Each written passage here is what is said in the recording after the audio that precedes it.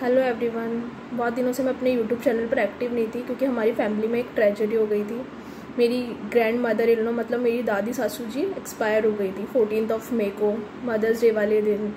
वैसे तो उनकी एज हो गई थी और वो कुछ सालों से बीमार भी थी, पर इन दिनों वो बिल्कुल ठीक थी। उनको देख के लग ही नहीं रहा था कि वो एकदम से हमें छोड़ के चली जाएगी। इवन वो खुद ये बोला करती थी कि मैं तो सौ साल जीऊँगी, मुझे अभी कुछ नहीं होने वाला है। वो बहुत हिम्मत वाली थी। उनका नाम श्रीमती विमला देवी था और वो राजस्थान लेबर कोर्ट से as a senior leader retired हुई थी। She was a government servant मतलब चौदह तारीख को उनकी डेथ हुई और बारह मई को दादा दादी जी की एनिवर्सरी थी और मैंने उनके लिए केक भी भेजा था। उन्होंने अच्छे से केक काटा सेलिब्रेट किया। वो बहुत खुश थी वीडियो कॉल पे भी बहुत खुश थी। थर्टीन को भी वो बहुत सही थी बट रात को एकदम से उन्हें ब्रीथिंग प्रॉब्लम हो गई, क्योंकि वो, उन्हें लंग्स प्रॉब्लम थी कुछ सालों से तो एकदम से उस वजह से उन्हें ब्रीथिंग प्रॉब्लम हो गई, उन्हें हॉस्पिटलाइज किया गया, और कुछ एक टाइम में डॉक्टर ने उनको वेंटिलेटर पे ले लिया, और फोर्टीन की मॉर्निंग तक वो हमें छोड़ के चली गई। ये हमारे लिए शॉकिंग था, क्योंकि एक हंसता खेलता इंसान, इतना हिम्मत वाला, जो इस एज में भी यू नो बिल्कुल डटा हुआ था कि नहीं, मैं कहीं नहीं जाने वाली, मैं ये करूँगी, मैं वो करूँगी। वो ऐसे हमें छोड़ के चल जाएगा। दादी बहुत पॉजिटिव थी। वो पॉजिटिविटी और मोटिवेशन का एक लाइव एग्ज़ाम्पल थी। जहाँ इस एज में लोग हिम्मत तोड़ देते हैं ना, वो अलग ही थी बिल्कुल। उनका जैसा तो मिलना ही बहुत मुश्किल है। मेरी शादी को छः महीने हुए हैं और इंगेजमेंट को वन ईयर हो जाएगा। तो मैंने ज़्यादा टाइम तो उनके साथ स्पेंड नहीं किया पर जितना भी किया है ना, उन्होंने मुझे बहुत प्यार दिया, एक नेक्स्ट लेवल वाला प्यार दिया। मैं जब भी उनसे मिलती थी ना तो वो मुझे इतने प्यार से ट्रीट करती थी ना, मैं भूल जाती थी वो मेरी सासू जी है। वो मुझे बिल्कुल ऐसे पोती के जैसे करती थी और मुझे ये बोलती थी, ये खा लो, वो खा लो। मुझे हमेशा खिलाती रहती थी और कोई काम करने को नहीं बोलती थी, मस्त अपने पास बिठा लेती थी। और कहानियाँ सुनाया करती थी, मेरी बातें सुना करती थी, क्योंकि मुझे भी बातें करना बहुत पसंद है। तो दादी जी बहुत इंटरेस्ट लिया करती थी मेरी बातों में। बैंक से रिलेटेड जो भी मेरी बातें होती हैं, और मेरी पर्सनल बातें जो भी है तो बहुत मज़े आते थे उनके साथ बात करने में। उनके साथ बात करके ऐसा लगता था कि पता नहीं, मैं एक अलग इंसान से बात कर रही हूँ, जो कितना मोटिवेट पेशन है जिसके अंदर। वो कितने मोटिवेट होकर और इतना एक्टिवली मतलब बात करता है, हर चीज़ में पार्टिसिपेट करता है। मैं आपको ना अपनी दादी जी की स्टोरी बताती हूँ। वो वृंदावन की रहने वाली है और शादी से पहले भी वो, उन्होंने एज ए नर्स काम किया है। ये बात मुझे उनकी सिस्टर्स ने बताई कि दादी जी ने एज ए नर्स भी काम किया है और उन्होंने छोटा मोटा और भी काम किया है शादी से पहले। फिर दादाजी की शादी के बाद उन्होंने अपनी स्टडी कंटिन्यू रखी, उनके दो बच्चे हो गए, फिर भी वो उन्होंने पढ़ाई कंटिन्यू रखी और ये आज से पचास साल पहले की बात है। जहाँ पे औरतों को सिर्फ़ एक घर तक सीमित रखा जाता था, घर की रसोई तक। सर्विस और पढ़ाई तो बहुत दूर की बात होती है और पढ़ाई मिलती भी थी तो उनको लिमिटेड मिला करती थी। दादी ने कंटिन्यू पढ़ाई रखी अपनी शादी होने के बाद में, बच्चे होने के बाद में और 14 अप्रैल 1975 को राजस्थान लेबर कोर्ट में एज अ रीडर उनकी सर्विस लगी।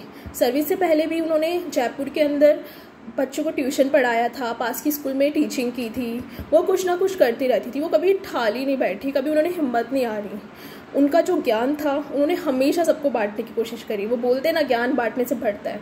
और वो एक सच बात है। अगर हमारे पास कुछ है तो वो हमें अच्छा है तो अच्छा ज्ञान है तो हमें सबके साथ में ऑब्वियसली उसको शेयर करना चाहिए।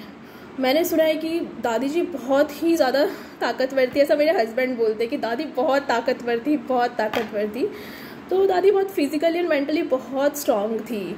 उनकी ज़िंदगी उन्होंने पूरी भागा दौड़ी में निकाली है और वो इस एज में दिखता था। वो अलग ही लेवल की जो एक्टिवनेस है, उन्होंने जिस तरीके से अपनी ज़िंदगी जिए ना एजुकेशन के साथ में, एक अच्छी गवर्नमेंट सर्विस के साथ में, या बोले एक अच्छी सर्विस के साथ में तो वो दिखता था उनके अंदर।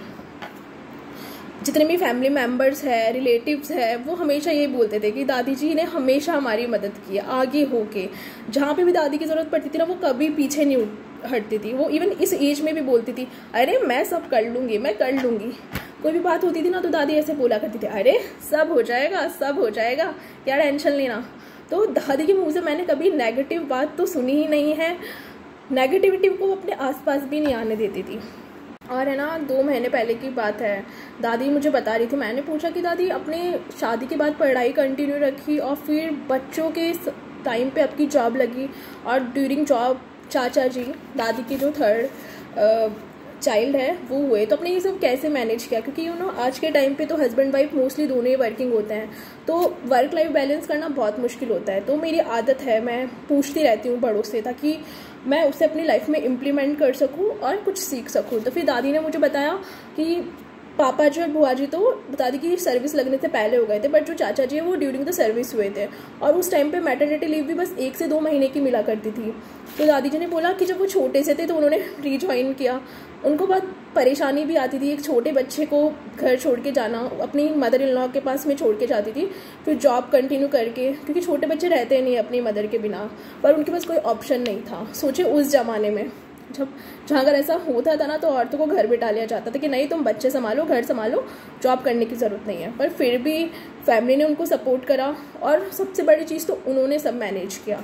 उन्होंने बोला कि उनकी जो सासू जी है, वो बहुत मैनेज करती थी बट एक टाइम ऐसा आया था, उन्होंने ये बोला था कि तुम थोड़ा जॉब को भी साइड में रखो और बच्चे को संभालो। लेकिन उन्होंने बोला कि वो थोड़ी डर भी गई थी कि कैसा होगा, क्या होगा। पर फिर उन्होंने धीरे धीरे सब संभाल लिया मैनेज किया, अपने बच्चे और अपनी जॉब को। और सर्विस अच्छे से करी कंटिन्यू करी, सब चीज़ें धीरे धीरे ठीक हो गई। तो मैं उनकी स्टोरी सुन के इतना मोटिवेट हो गई ना, मैंने बोला, वाह, आजकल तो लोग ये वर्क लाइफ बैलेंस पता नहीं क्या क्या बोलते रहते हैं और उन्होंने उस टाइम पे ये सब कुछ करके दिखा दिया। वो भी इतनी पॉजिटिविटी के साथ में। और वो 2008 में रिटायर्ड हुई 33 इयर्स की अपनी सर्विस कंप्लीट करके राजस्थान लेबर कोर्ट से एज अ सीनियर रीडर तो ये बहुत ही प्राउड की बात है हमारी फैमिली के लिए। और उन्होंने शुरू से लेके अंत तक जो भी काम किए एजुकेशन से रिलेटेड वो सब इसलिए किए कि उनकी फैम उन खुद के साथ साथ उन्हें अपने फैमिली के लिए भी किए। और दादी जी की सबसे अच्छी बात ये थी ना कि वो जानती थी कैसे खुश रहते हैं, खुश कैसे रहा जाता है। खुश रहना उन्हें बहुत अच्छे से आता था, जो सबको नहीं आता है। मम्मी जी बताया करती थी ना, दादी जब ऑफ़िस जाती थी ना तो वो मैचिंग की चूड़ियाँ मैचिंग की बिंदी पूरा टिप टॉप होके जाया करती थी। मतलब ठीक है, सब चीज़ अपनी जगह पर दादी का पहनावा एक होता है ना इंसान की पर्सनैलिटी वो डगमगानी नहीं चाहिए थी, वो दादी जी के अंदर था। अब तो सिर्फ़ बातें रह गई है, वो चली गई है। यही होता है। ज़िंदगी का कुछ पता नहीं है, आज क्या है, कल क्या है, परसों क्या होगा। भगवान करे, दादी की आत्मा को शांति मिले, स्वर्ग की प्राप्ति हो उन्हें। कि उन्होंने जो कर्म किए हैं ना अपनी ज़िंदगी में, वो बहुत अच्छे थे, बहुत अच्छे। कभी किसी का पूरा उन्होंने चाहा चाहा नहीं। हार्ड वर्किंग एक मतलब हार्ड वर्क तो उनकी ज़िंदगी थी। एजुकेशन ले लो फैमिली ले लो, हर चीज़ के अंदर। इवन मेरे हस्बैंड बताते कि वो उन्हें और उनके भाई बहनों को भी पढ़ाया करती थी, संस्कृत पढ़ाया करती थी और वो लोग full out of full marks लाया करते थे संस्कृत के अंदर। तो दादी ने हर चीज़ में कंट्रीब्यूट किया है। उन्होंने अपनी ज़िंदगी की कंट्रीब्यूशन में बिताई है पूरी। तभी उनकी एक अलग पर्सनैलिटी थी। दादी जहाँ पे भी होगी आई होप वो बहुत खुश होगी और अपना आशीर्वाद हम पे ज़रूर बनाए रखेगी। मुझे पूरा भरोसा है। मैं बस इतना ही बोलना चाहूँगी कि हमें हमारे बड़ों को ज़रूर टाइम देना चाहिए। हाँ आज की ज़िंदगी बहुत भागा दौड़ी की हो गई है। हम अपने प्रोफेशनल लाइफ की वजह से उनके पास ज़्यादा रह भी नहीं पाते हैं। मैं तो खुद नहीं रह पाती हूँ। मेरी जॉब अपने घर से 700 किलोमीटर दूर है। पर मैं ट्राई करती हूँ पूरा कि जितना कंट्रीब्यूट कर सकूँ, करूँ और करूँगी। तो क्योंकि जब हमारे बड़े हमसे दूर चले जाते हैं ना, हमें तब एहसास होता है कि हमारा प्रोफेशन वही रहने वाला है, हमारा काम वही रहने वाला है। हम नहीं तो कोई और ज़रूर करेंगे। लेकिन जब अपना कोई चला जाता है ना, वो वापस लौट के नहीं आता। सिर्फ़ यादें, बातें मेमोरीज रह जाती है। कुछ नहीं रहता है फिर। वो काम तो वैसे ही चलता रहेगा। हम नहीं करेंगे तो कोई और करेगा। ठीक है? बढ़ो करियर में, आगे बढ़ो, सब कुछ करो, लेकिन अपनी फैमिली को मत भूलो। क्योंकि जो सपोर्ट और जो अच्छी अच्छी बातें और जो चीज़ें हमें हमारी फैमिली से मिलती है ना, वो हमें बाहर से कभी नहीं मिल सकती। कभी भी नहीं। उनका सपोर्ट होने से ही, उनके आशीर्वाद से ही हम अपने प्रोफेशनल लाइफ में आगे बढ़ पाते हैं। ऐसे तो नहीं। तो ये थी हमारी दादी के बारे में, और ये तो छोटा सा हिस्सा था। इनकी, उनकी ज़िंदगी में तो और भी बड़ी बड़ी चीज़ें थी बड़ी बड़ी बातें थी, वो खुद ही एक बड़ी हस्ती थी। तो अब नेक्स्ट टाइम मैं जब घर जाऊँगी तो मैं ट्राई करूँगी सबसे उनके दादी जी के बारे में कि सब फैमिली मेंबर कुछ ना कुछ बोले, और मैं ज़रूर अपलोड करूँगी। Thank you every